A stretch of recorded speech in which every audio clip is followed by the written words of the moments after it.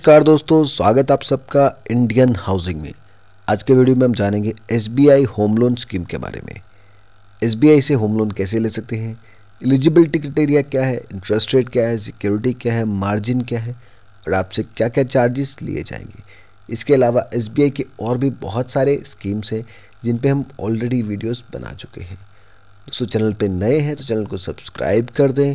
Bell icon को दबा दें ताकि आपको हमारे वीडियोस के नोटिफिकेशंस मिलते रहें। तो चलिए शुरू करते हैं।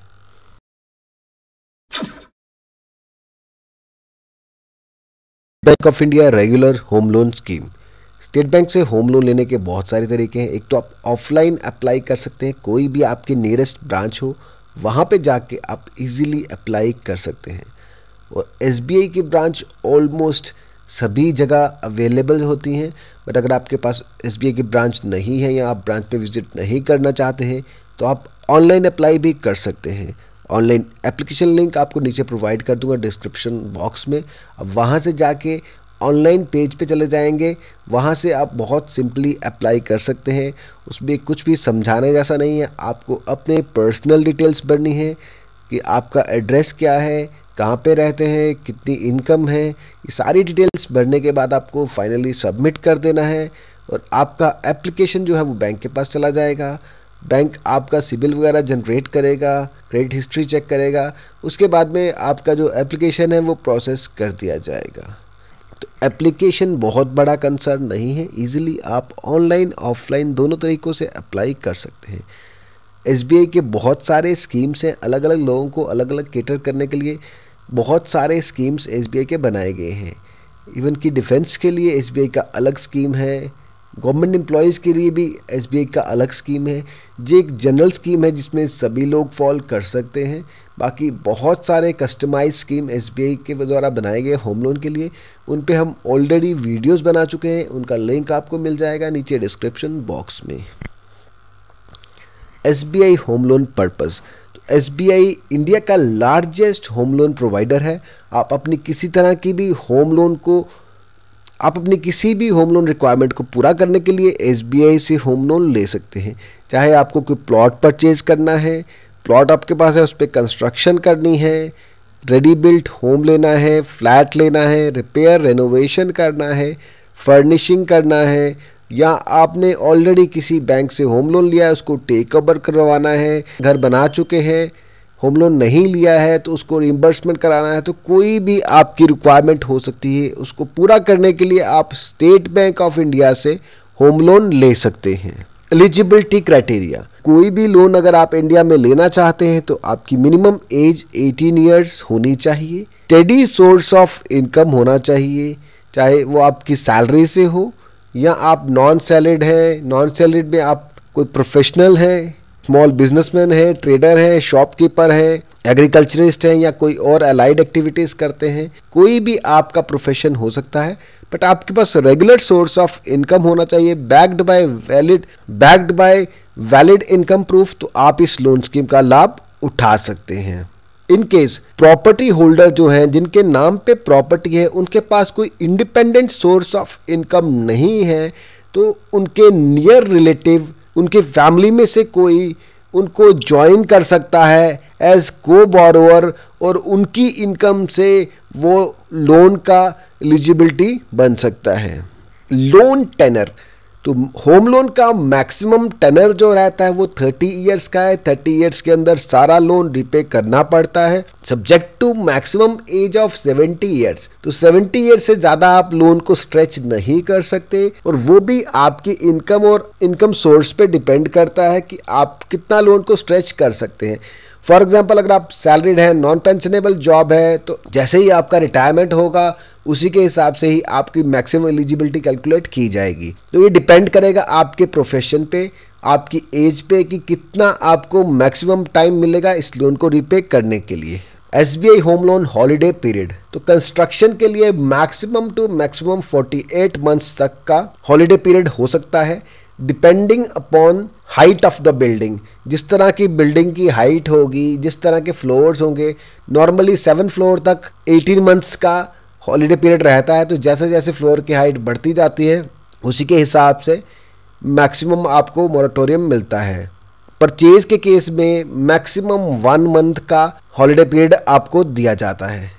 और को बोरोवर्स जैसे कि मैंने आपको ऑलरेडी बताया को बोरोवर्स को ऐड किया जाता है। अगर आपकी इनकम कम है, उसको एनहेंस करने के लिए भी आप को बोरोवर ऐड करते हैं अपनी फैमिली में से किसी को तो मैक्सिमम को बोरोवर्स जो है, वो थ्री आप इंक्लूड कर सकते हैं अपने होम लोन के अंदर। लोन डॉक्यूमेंटेशन तो लोन डॉक्यूमेंटेशन में प्राइमरी डॉक्यूमेंटेशन रहेगी आपकी केवाईसी केवाईसी में आपका valid address proof ID proof home loan का फॉर्म जो कि आपको बैंक से ही मिलेगा, आपके latest passport size photographs income का प्रूफ जो कि डिपेंड करेगा आपके प्रोफेशन पे। सैलरीड है तो आपकी सैलरी स्लिप्स और लास्ट टू ईयर का फॉर्म 16 नॉन सैलरीड है तो आपकी इनकम टैक्स रिटर्न की copies profit and loss statement balance sheets आपके बिज़नेस की बिज़नेस एक्टिविटी का प्रूफ तो ये आपके प्रोफेशन पे डिपेंड करता है। सैलरीड के लिए सैलरी अकाउंट की स्टेटमेंट नॉन सैलरीड के लिए उनकी बिज़नेस अकाउंट की और पर्सनल अकाउंट की दोनों की स्टेटमेंट्स, उसके अलावा प्रॉपर्टी पर पेपर्स जो कि डिपेंड करते हैं आपकी रिक्वायरमेंट पे। अगर आप कंस्ट्रक्शन कर रहे हैं तो permission for construction, registered agreement for sale, occupancy certificate, share certificate, approved plan की कॉपीज, पेमेंट रिसीट और bank account statement showing all the payment made to the builder और सेलर तो ये डिपेंड करता है जिस तरह की आपकी रिक्वायरमेंट होगी। फॉर एग्ज़ाम्पल अगर आप परचेजिंग कर रहे हैं तो उसमें एग्रीमेंट टू सेल तो होगा ही। तो वो रिक्वायर्ड है। कंस्ट्रक्शन करने जा रहे हैं तो लोकल अथॉरिटीज से कंस्ट्रक्शन की परमिशन होगी। कंस्ट्रक्शन का एस्टिमेट होगा। तो डिपेंड करेगा आपकी रिक्वायरमेंट में जिस तरह की आपकी रिक्वायरमेंट होगी। उसी तरह की डॉक्यूमेंटेशन भी आपको प्रोवाइड करनी पड़ेगी। ये पर्सन टू पर्सन वेरी करता है और बैंक आपको उसके लिए एप्ली गाइड कर देते हैं।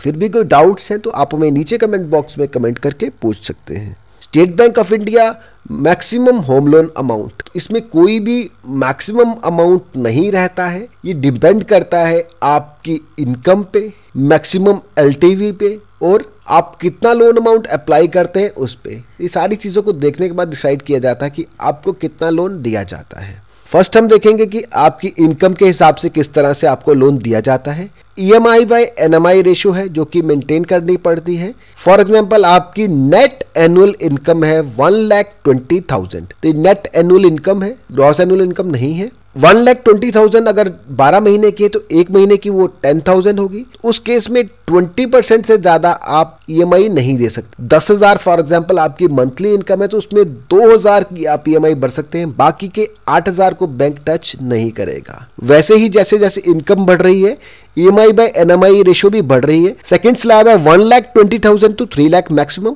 three lakh अगर आपकी सैलरी है या इनकम है साल की तो मंथली बनती है ट्वेंटी फाइव थाउज़ेंड तो ट्वेंटी फाइव थाउज़ेंड में से thirty percent maximum bank E M I ले सकता है, जो कि बैठता है साढ़े सात हज़ार। तो आपको उतना ही लोन मिलेगा, जिसमें ई एम आई जो है वो साढ़े सात हज़ार या उससे कम होगी। वैसे ही नेक्स्ट स्लैब है three lakh to five lakh fifty five percent five lakh to eight lakh sixty percent eight lakh to ten lakh sixty five percent above ten lakh seventy percent तो ये डिपेंड करता है। About ten lakh for example आपकी income है twelve lakh rupees monthly बनेगी वो one lakh rupees उसका seventy percent है सेवेंटी थाउज़ेंड तो मैक्सिमम सेवेंटी थाउज़ेंड ई दे सकते हैं। तो ये डिपेंड करता है आपकी इनकम पे, उसी के हिसाब से आपकी E M I by N M I ratio होती है। लोन टू वैल्यू रेशियो तो ये लोन टू वैल्यू रेशियो होता है, जितनी भी आपकी प्रॉपर्टी वैल्यू है, उसके कितने परसेंट तक आपको लोन दे सकते हैं। फॉर एग्ज़ाम्पल अगर आप जो प्रॉपर्टी ले रहे हैं, उसकी वैल्यू थर्टी लाख रुपीज़ से थर्टी लाख रुपीज़ का ninety percent. That is twenty seven thousand तो मैक्सिमम लोन आप उस प्रॉपर्टी पे ट्वेंटी सेवन लाख तक ले सकते हैं। वैसे ही जैसे जैसे वैल्यू बढ़ रही है अब seventy five lakh seventy five percent एक करोड़ की अगर आपकी प्रॉपर्टी की वैल्यू है तो उसमें से सेवेंटी फाइव परसेंट आप लोन ले सकते हैं। That is seventy five lakh. बाकी का ट्वेंटी फाइव लाख आपका खुद का कॉन्ट्रीब्यूशन यानी कि आपका मार्जिन रहेगा। स्टैंप ड्यूटी और रजिस्ट्रेशन चार्जेस को आप इंक्लूड कर सकते हैं अपने प्रोजेक्ट कॉस्ट में सिर्फ़ तब जब आपका जो टोटल प्रोजेक्ट कॉस्ट है, वो 10 लाख से ज़्यादा एक्सीड नहीं होगा। अगर 10 लाख से ज़्यादा एक्सीड हो रहा है आपका प्रोजेक्ट कॉस्ट इन चीज़ों को आप इंक्लूड नहीं कर सकते हैं। स्टैंप ड्यूटी रजिस्ट्रेशन चार्जेस या डॉक्यूमेंटेशन चार्जेस को आप इंक्लूड नहीं कर सकते तो दोस्तों, आपने देखा कि मैक्सिमम जो लोन अमाउंट है, कोई फिक्स नहीं है। वो डिपेंड करता है कि आपकी रिपेइंग कैपेसिटी कितनी है, आपकी रिक्वायरमेंट कितनी है। उसी के हिसाब से आपको मैक्सिमम लोन अमाउंट दिया जाता है। State Bank of India home loan rate of interest up to 30 lakh CIBIL score higher than 800 6.75 6.70 percent ये festival season rate of interest है. थर्टी फ़र्स्ट दिसंबर तक ये एप्लीकेबल है. मे बी उसके बाद चेंज हो सकता है। About thirty lakh CIBIL score 700 to 750 percent CIBIL score 751 to 800 percent CIBIL score more than 800 6.70 percent तो मिनिमम फ्लोर रेट जो है 6.70 परसेंट है। बाकी आपके सिबिल स्कोर पे डिपेंड करेगा आपको कितना रेट ऑफ़ इंटरेस्ट चार्ज किया जाएगा। रेट्स जो है अभी के लेटेस्ट रेट्स हैं। रेट्स और ऑलवेज सब्जेक्ट टू चेंज जब भी लोन ले लेटेस्ट रेट जो है बैंक की वेबसाइट से चेक कर ले या हमें नीचे कमेंट बॉक्स में कमेंट करके पूछ सकते हैं। लोन सिक्योरिटी तो सिक्योरिटी के लिए बैंक क्या करेगा? आपकी जो भी प्रॉपर्टी होगी हाउसिंग प्रॉपर्टी जो आप घर खरीद रहे हैं फ्लैट खरीद रहे हैं कंस्ट्रक्शन कर रहे हैं, उस प्रॉपर्टी का इक्विटेबल मॉडगेज किया जाता है। प्रेफरेबली बैंक इक्विटेबल मॉडगेज करते हैं क्योंकि इसमें लोअर कॉस्ट इन्वॉल्व होती है, इसमें खर्चा बहुत कम होता है कस्टमर का।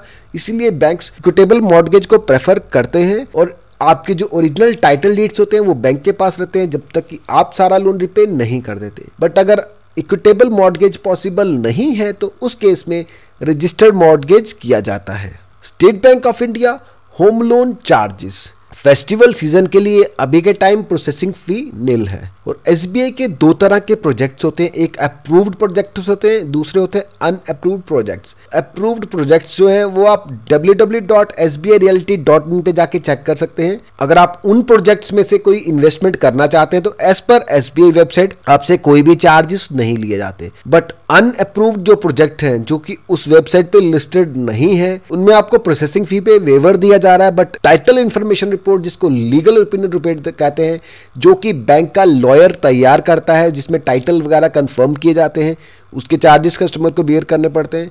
उसके अलावा प्रॉपर्टी की जो वैल्यूएशन की जाती है बैंक के अप्रूव वैल्यूर के द्वारा, उसके चार्जेस भी कस्टमर को बियर करने पड़ते हैं। इसके अलावा अगर आपकी स्टेट में कोई भी स्टैंप ड्यूटी वगैरह एप्लीकेबल है तो वो भी आपको बियर करनी पड़ेगी। तो दोस्तों, ये था State Bank of India home loan कैसा लगा आपको आज का ये वीडियो? कमेंट बॉक्स में कमेंट करके ज़रूर बताएँ। अगर आपको ये वीडियो पसंद आए तो वीडियो को लाइक करें, चैनल को सब्सक्राइब करें। Thank you for watching